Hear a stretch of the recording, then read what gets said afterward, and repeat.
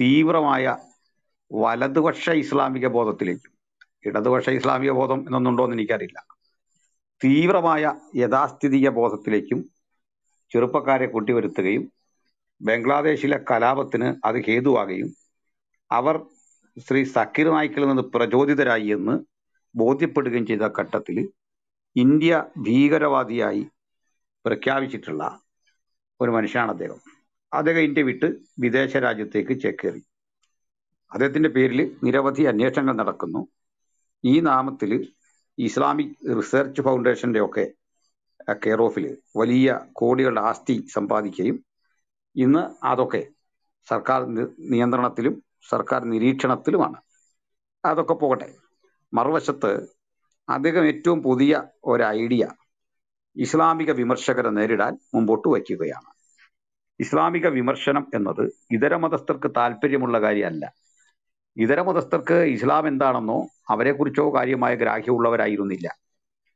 അവരെ സഹോദര പ്രസ്ഥാനങ്ങളായി കരുതി അവരെ ബഹുമാനിച്ചും ആദരിച്ചുമാണ് ഇന്ത്യയിലെ ഹിന്ദുക്കളും ക്രൈസ്തവരും ഇതര മതസ്ഥരും കഴിഞ്ഞു പോയത്. അതങ്ങനെ വേണം നാളെയും. എന്നാൽ അതിന് വിഘാതമേൽപ്പിക്കുമാറ് അശാസ്ത്രീയമായ സംവാദ രീതികളിലൂടെ ഹൈന്ദവരെ വെല്ലുവിളിക്കുകയും അവരുടെ ശ്ലോകങ്ങൾ ഉദ്ധരിച്ചുകൊണ്ട് അവിടെ പറയുന്ന ആൾ അവിടെ പറയുന്ന പ്രവാചകൻ മുസ് മുഹമ്മദാണെന്നും അവിടെ നിരീക്ഷണം നടത്തിയിട്ടുള്ള മറ്റുതര കാര്യങ്ങൾ ഏകദൈവത്തെക്കുറിച്ചുള്ള പ്രഖ്യാപനം അള്ളാഹുവിനെ കുറിച്ചാണെന്നും അതുകൊണ്ട് ആ മതം അല്ല അനുഗമിക്കേണ്ടത് മുഹമ്മദിന്റെ വഴിയാണ് എന്ന് അവരെ പഠിപ്പിക്കുകയും. ബൈബിളിലേക്ക് തിരിഞ്ഞ് ബൈബിൾ അത് അർത്ഥരഹിതമായ കൽപ്പിത കഥകളുടെ സമാഹാരമാണെന്നും എങ്കിലും അതിൽ കുറെ ദൈവവചനമുണ്ടെന്നും ആ കുറെ ദൈവവചനം എന്നത് മുഹമ്മദിനെ കുറിച്ചാണെന്നും ഉള്ള രൂപേണ പ്രസംഗിക്കുകയും.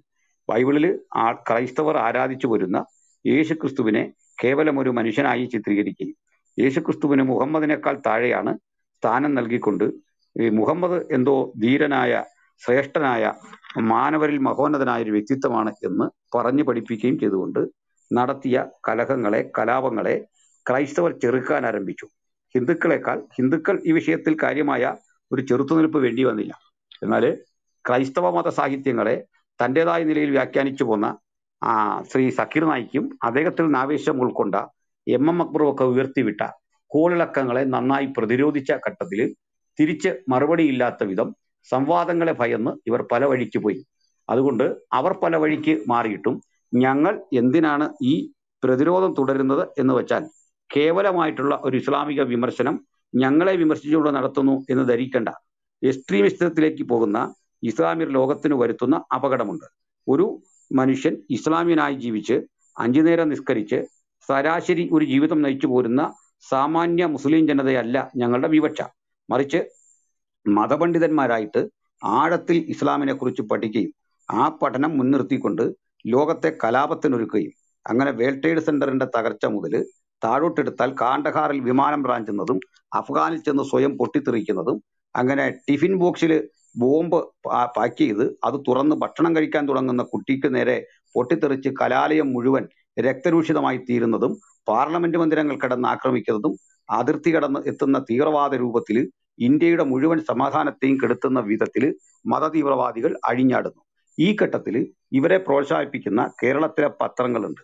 ആ പത്രങ്ങൾ ഇവിടെ നടപ്പിലാക്കുന്ന ഒരു നയം എന്നത് തീവ്രവാദ മുഖം ഒരിക്കലും പുറത്ത് കാണിക്കാതെ വളരെ സൗമ്യരായി വളരെ അന്തസ്സോടുകൂടി പെരുമാറിക്കൊണ്ട് ബുദ്ധിജീവികളെ ഇരുത്തി രാ അന്തിച്ചർച്ചയ്ക്ക് കൂട്ടിരുത്തിക്കൊണ്ട് അവരിലൂടെ ഇത്തരത്തിലുള്ള പൊളിറ്റിക്കൽ ഇസ്ലാം അഫയേഴ്സിനെ വെള്ളപൂശാൻ നടത്തുന്ന ശ്രമങ്ങൾ നമ്മൾ കണ്ടുകൊണ്ടിരിക്കുകയാണ്.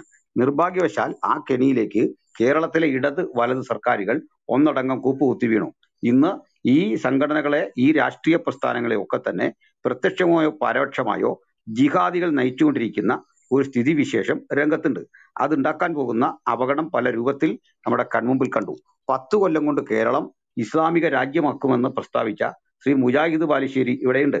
തന്റെ ശത്രുവിനെ തന്റെ ദൈവമായ മുഹമ്മദിനെ ആരെങ്കിലും ആക്ഷേപിച്ചാൽ അവന്റെ തല വെട്ടി ഫുട്ബോൾ ഉരുട്ടുന്ന പോലെ ഉരുട്ടണം എന്ന രൂപേണ സമരാഹ്വാനം നൽകിയിട്ട് അത് ഏറ്റെടുത്തുകൊണ്ട് കൃത്യമായി തന്നെ ഖുറാനിലെ ആയത്തുകൾ ഉരുവിട്ട് നമ്മുടെ മാഷിനെ തലങ്ങും വിലങ്ങും വെട്ടി അദ്ദേഹത്തിന്റെ കൈപ്പടം ഛേദിച്ചു കളയുന്ന പരിസ്ഥിതി നമ്മുടെ കൺമുമ്പിൽ സംജാതമായി. ഇങ്ങനെ നൂറുകണക്കിനിടങ്ങളിൽ മതത്തെ ഉപാധിയായി മാറ്റിക്കൊണ്ട് മതപ്രമാണത്തെ അന്ധമായി വിശ്വസിച്ച് ഇവിടെ നടപ്പിലാക്കിക്കൊണ്ടിരിക്കുന്ന ഇത്തരത്തിലെ പരിപാടികളെ ചെറുക്കേണ്ടത് ജനാധിപത്യ മനസ്സുകളുടെ ആവശ്യകതയാണ്. മനുഷ്യത്വത്തിന്റെ ആവശ്യകതയാണ്. അങ്ങനെ ഞങ്ങൾ ഇസ്ലാമിനെതിരെ നടത്തുന്ന വിമർശനങ്ങൾ കേവലമായൊരു മതവിമർശനമല്ല മറിച്ചൊരു സാംസ്കാരിക പ്രവർത്തനം കൂടിയാണ് അതൊരു മനുഷ്യാവകാശ പ്രവർത്തനം കൂടിയാണ്. ഇനി വരുന്ന തലമുറ ഈ അപകടം കണ്ട് ഉണരുകയും ചെറുക്കേണ്ട ഈ പരിതസ്ഥിതിയെ ചെറുക്കുകയും ചെയ്യുന്നതിന്റെ പോരാട്ടത്തിൽ അണിചേരുക മാത്രമാണ് ഞങ്ങൾ ചെയ്തുകൊണ്ടിരിക്കുന്നത്. അതുകൊണ്ട് ഞങ്ങളെപ്പോലുള്ള ആളുകൾക്ക് നേരെ വ്യത്യസ്തങ്ങളായ സമര രീതികൾ ഇസ്ലാം ആരംഭിച്ചിട്ടുണ്ട്. പല രൂപത്തിലും പല ഭാവത്തിലും. കേസുകൾ കൊടുത്തുകൊണ്ട് ബുദ്ധിമുട്ടിക്കുകയാണ് ഒരു ശൈലിയെങ്കിൽ. ഫോൺ വിളികളിലൂടെ ആക്ഷേപിക്കുകയാണ് മറ്റൊരു ശൈലി. ഇനി പലതരത്തിലുള്ള മുന്നറിയിപ്പുകൾ നൽകിക്കൊണ്ട് പ്രാണന് ക്ഷതം വരുത്തുന്ന വിധത്തിലുള്ള ആലോചനകൾ നടത്തുക. വീടുകൾക്ക് മുമ്പിലൂടെ ജാഥ നടത്തിക്കൊണ്ട് വളരെ മോശമായ മുദ്രാവാക്യങ്ങൾ ഉയർത്തുക. കാബാലികരായ ആളുകളെ ഇരുചക്ര വാഹനത്തിലുമൊക്കെ അയച്ചിട്ട് വീടുകളിൽ ചുറ്റും വളയുക. അങ്ങനെ പല വിധത്തിൽ ഭീകരത സൃഷ്ടിക്കുകയും അത് പോലീസ് കാഴ്ചക്കാരായി മാത്രം നിൽക്കുകയും ചെയ്യുന്ന പരിതസ്ഥിതികൾ.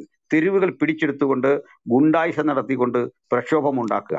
ബിഷപ്പ് പാലായിൽ നടത്തിയ ഒരു പ്രസ്താവനയ്ക്കെതിരെ പാലായെ സ്തംഭിപ്പിച്ച് ഒരു വാഹനം അതും രോഗിയെ കൊണ്ടുപോകുന്ന വാഹനം അതുവഴി കടത്തിവിടാത്ത വണ്ണം പ്രതിരോധം തീർക്കുക രോഗിയെ കൊണ്ട് മറ്റൊരു വഴിക്ക് ഈ പ്രതിസന്ധി ഘട്ടത്തിൽ പോകേണ്ടി വരിക. ഇതൊക്കെ കണ്ടിട്ട് അതിനെ ഒന്നും കാണാതെ കാര്യമായി അഡ്രസ് ചെയ്യാതെ ഇവിടുത്തെ സമൂഹം ഉറങ്ങിക്കിടക്ക കിടക്കുകയാണെങ്കിൽ നാളെ കൂടുതൽ വില നാം ഓരോരുത്തരും കൊടുക്കേണ്ടി വരും എന്നുള്ള അപകട സൂചന. ഇതിനെതിരെ മുസ്ലിങ്ങളടക്കമുള്ള ഇന്ത്യയിലെ ചിന്തിക്കുന്ന ബോധവാന്മാരായ ആളുകൾ ഉണരേണ്ടതുണ്ട്.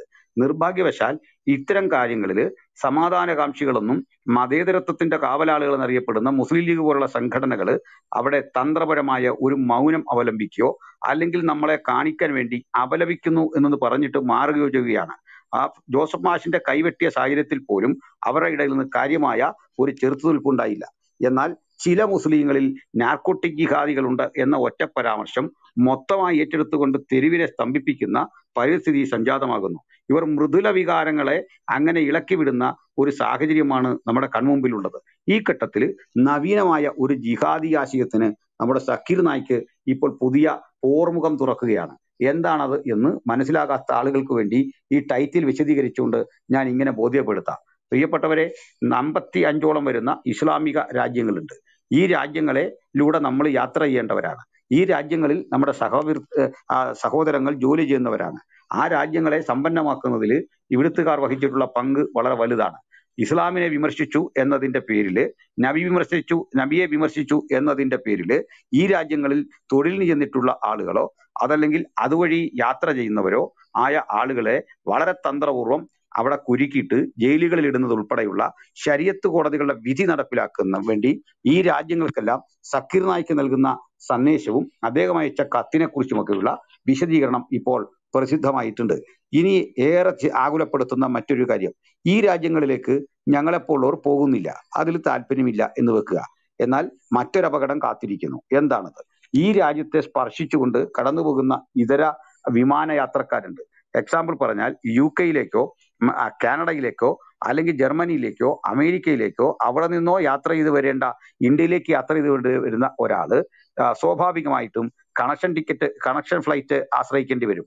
അങ്ങനെ കണക്ഷൻ എടുക്കാൻ വേണ്ടിയിട്ട് ദുബൈയിലോ ഖത്തറിലോ അങ്ങനെ ഏതെങ്കിലും രാജ്യത്ത് കുവൈറ്റിലോ ഒക്കെ ഇറങ്ങേണ്ടി വരുന്ന സാഹചര്യത്തിൽ അവരെയും ഈ നിയമക്കുരുക്ക് കൊണ്ട് അവിടെ പിടിച്ചിടണം എന്നുള്ള ഒരു സമ്മർദ്ദം സക്കീർ നായിക്കിന്റെ ഭാഗത്തു നിന്നുണ്ടാകുന്നു സക്കീർ നായിക്കിനെ പോലെ ഒരാൾ ഇങ്ങനെ നിർദ്ദേശിക്കുമ്പോൾ അത് നടപ്പിലാക്കേണ്ട ബാധ്യത ഈ രാജ്യങ്ങൾക്കുണ്ടോ എന്ന് ചോദിച്ചാൽ ഇല്ലെന്നാണ് മറുപടി. പക്ഷേ ഈ രാജ്യങ്ങളിലെ വളരെ വിപുലമായി പ്രവർത്തിക്കുന്ന സലഫികളുടെ ടീമുകളുണ്ട്. സലഫികൾക്ക് ആധിപത്യമുള്ള ഈ സൗദി അറേബ്യ പോലെയുള്ള സ്ഥലങ്ങളുണ്ട്. ഏറ്റവും തീവ്രവാദി ഗ്രൂപ്പുകളായി നിലകൊള്ളുന്ന സലഫികൾ. ആ സലഫികളിലെ പ്രബലരായിട്ടുള്ള ഇത്തരം ആളുകൾ അവരുടെ കൂടി പിന്തുണയോടുകൂടി അവിടെ കുരുക്കി ഇടാനും അതുവഴി പുതിയ ഒരു ജിഹാദി പരിപാടിക്ക് അവർ തുടക്കം കുറിക്കുകയാണ്. അങ്ങനെ ആകാശ ജിഹാദ് എന്ന പുത്തനൊരു ഏർപ്പാടോട് കൂടിയിട്ട് ഈ വിമർശനത്തിന്റെ വിമർശകരുടെയും നാവടയ്ക്കുന്ന ഈ പുത്തൻ ജാലവിദ്യയെ കരുതിയിരിക്കേണ്ടത് ഓരോരുത്തരുടെയും ആവശ്യമാണ്. മാത്രമല്ല വിദേശകാര്യ മന്ത്രാലയമൊക്കെ ഇത്തരം വിഷയങ്ങൾ ഏറ്റെടുത്തുകൊണ്ട് ഒരു രാജ്യത്തിലെ പൗരനെതിരെ ശിക്ഷ നടപ്പിലാക്കാൻ ആ രാജ്യത്തിലെ നിയമത്തിനാണ് ബാധ്യത എന്നുള്ള ആ യാഥാർത്ഥ്യം ഇത്തരത്തിലുള്ള വേണ്ടത്ര വിദ്യാസമ്പന്നരല്ലാത്ത ഇത്തരം ആളുകളെ പറഞ്ഞ് ബോധ്യപ്പെടുത്തുകയും വരാനിരിക്കുന്ന വിപത്തിനെ കുറിച്ച് സമ ജാഗരൂകരാകുകയും വേണം. ഇതിനു വേണ്ടിയാണ് നമ്മൾ ഇന്ന് ഇങ്ങനെ ഒരു ചർച്ച വെച്ചത്. ഒരു കാര്യം പറഞ്ഞ് ഇങ്ങനെ ഉപസംഹരിക്കാം. പ്രിയപ്പെട്ടവരെ മതം എന്നത് ദൈവത്തിങ്കലേക്കുള്ള വഴിയാണെങ്കിൽ ദൈവത്തെ കണ്ടെത്താനാണെങ്കിൽ എന്തിനാണ് ആയുധം? എന്തിനാണ് ഇത്തരത്തിലുള്ള നിയമത്തിന്റെ പരിരക്ഷ? എന്തിനാണ് ഇത്തരത്തിൽ വളഞ്ഞ വഴികളിലൂടെ പ്രതിയോഗിയെ കീഴടക്കുക? ഇവർ മുഖാമുഖം വന്ന് ആ മതത്തെക്കുറിച്ച് സംവാദിക്കട്ടെ അതിന്റെ മൂല്യങ്ങളെക്കുറിച്ച് പറയട്ടെ അതിന്റെ ശ്രേഷ്ഠതയെക്കുറിച്ച് വിശദീകരിക്കട്ടെ. ആ മൂല്യങ്ങളെക്കുറിച്ച് പ്രസംഗിച്ച് ആളുകളെ ആകർഷിക്കേണ്ടതിന് പകരം മതത്തിന്റെ തെറ്റായിട്ടുള്ള വാറോലകളിൽ ഞാൻ നിന്നുകൊണ്ട് മാനവ സമൂഹത്തിന് വരുത്തുന്ന ഇത്തരം പ്രശ്നങ്ങൾക്ക് കാലം അവർക്ക് കരുതി വെച്ചിട്ടുള്ള ഏറ്റവും ഏറ്റവും പ്രധാനപ്പെട്ട കാവ്യനീതി കാലം കരുതി വെച്ചിട്ടുണ്ട് അത് മറ്റൊരു രൂപത്തിലായിരിക്കുകയില്ല നമുക്ക് ഇസ്ലാമിന്റെ ചരിത്രം അറിയാം. എതിരാളിയെ കൊല്ലാൻ കിട്ടുന്നില്ലെങ്കിൽ സ്വന്ത സ്വന്തക്കാരെ പരസ്പരം കൊന്നുമുടിക്കുന്നതിൽ യാതൊരുവിധ വിരോധവുമില്ലാത്ത അതിന്റെ പൂർവകാല ചരിത്രം കിടപ്പുണ്ട്. അങ്ങനെ ചോരയുടെ മണമുള്ള ചോരയുടെ ഗന്ധമുള്ള കാറ്റാണ് ഇസ്ലാമിന്റെ ചരിത്രത്തിൽ ഇന്നോളം വ്യവഹരിച്ചു കൊണ്ടിരിക്കുന്നത് അതുകൊണ്ട് ഇന്ന് കേൾക്കുന്ന ഏതൊരാളും പറയട്ടെ ആത്മീകത സമാധാനത്തിന്റെ മാർഗമാണ്. ആത്മീകത സമാധാനമാണെങ്കിൽ ആത്മീകതയുടെ ശരിയായ വഴിയെ പുൽകാൻ ഏതൊരാൾക്കും കഴിയേണ്ടത് അത് ഇസ്ലാമിലല്ല ആ ശാന്തി അന്വേഷിക്കേണ്ടത്. ചരിത്രത്തിൽ ഒരിക്കലും ഇസ്ലാം ശാന്തി കൊടുത്തിട്ടില്ല. ഇസ്ലാമിന്റെ സുവർണകാലം മുഹമ്മദിന്റെ കാലമായിരുന്നെങ്കിൽ മുഹമ്മദിന്റെ മരണം ഉൾപ്പെടെയുള്ള കാര്യങ്ങൾ അസ്വസ്ഥതയിലാണ് പരിണമിച്ചത്.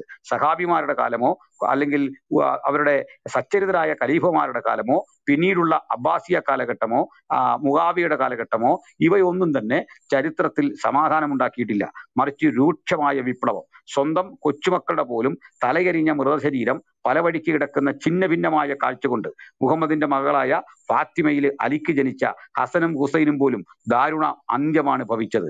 അലി ഒട്ടകപ്പുറത്തിരുന്നു കൊണ്ട് തന്നെ നേരിടാൻ വന്ന ഫാത്തിമയ്ക്ക് നേരെ സോറി സൈന ആയിഷയ്ക്ക് നേരെ യുദ്ധം ചെയ്യുന്ന പരിതസ്ഥിതി ഉണ്ടായി ചുരുക്കത്തിൽ അവരനെ കിട്ടിയില്ലെങ്കിൽ ഒരു ശത്രുവിനെ കിട്ടിയില്ലെങ്കിൽ ഈ വാളെന്നും രക്തത്തിൽ കഴുകിയേ ഇടാവൂ എന്ന ഒരു അലിഖിതമായ പ്രതിജ്ഞ ആ മതത്തിലുള്ള അതൊരു യാഥാർത്ഥ്യമാണ്. അതുകൊണ്ട് ജനം വഞ്ചിക്കപ്പെടാൻ പാടില്ല.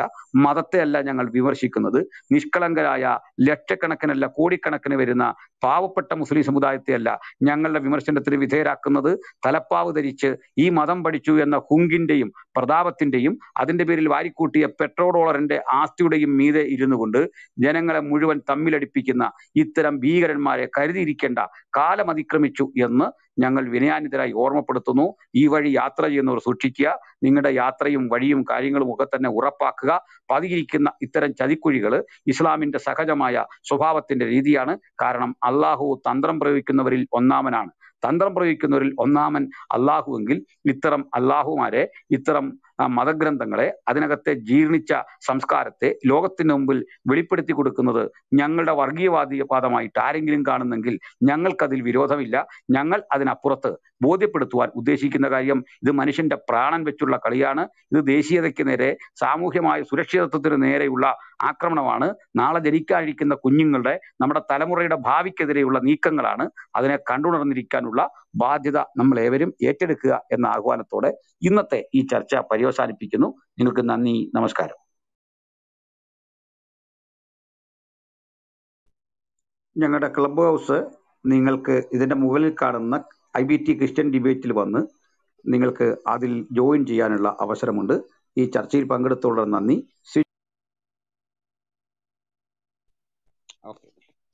വളരെ വളരെ മനോഹരമായ ചർച്ചയായിരുന്നു. അതിൽ പങ്കെടുത്ത എല്ലാവർക്കും ഞങ്ങൾ നന്ദി പറയുന്നു. I B T Christian debate group നിങ്ങൾ എല്ലാവരും ഫോളോ ചെയ്യുക.